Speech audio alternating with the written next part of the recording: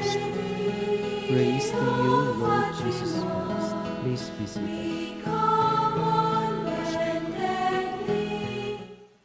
to reflect after the solemnity of the ascension of our Lord, we have heard the priestly prayer of our Lord Jesus.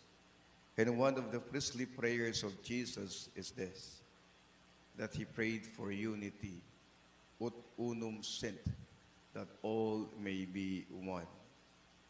Jesus prayed, I pray not only for this, but also for those who believe in me through their word, so that they may be all one, as the Father are in me and I in you, that they also may be in us, that the world may believe that you sent me.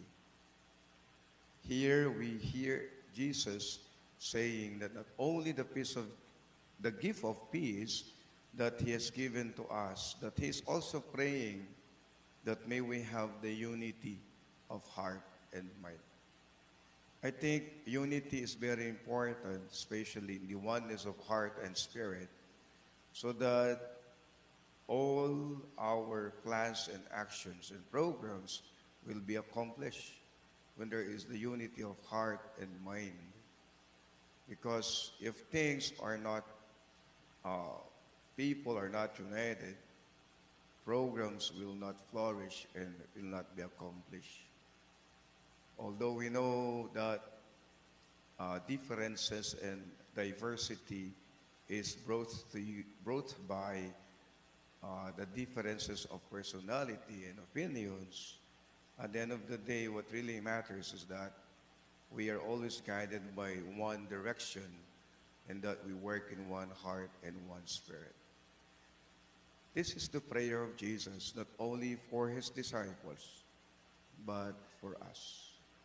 This is also our prayer that we may always be guided by the spirit of unity, by the spirit of love, that from love overflows the mind that is willing to work together and a mind that is willing to help each other.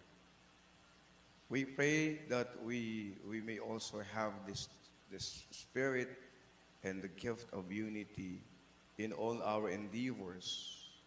Despite of the differences that we have in, in opinions, differences because of personalities, which is actually the most uh, the, the, the, the, the, the reason that we diverse because of our personalities that affects our behavior.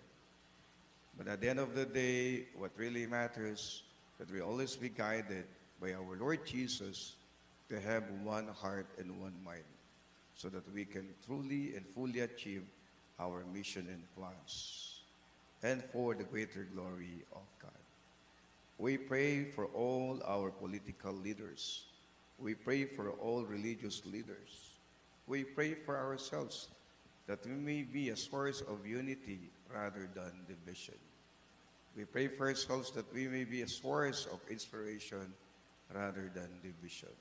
And we pray that may ourselves be an instrument of bringing peace and unity among the communities. Amen. Please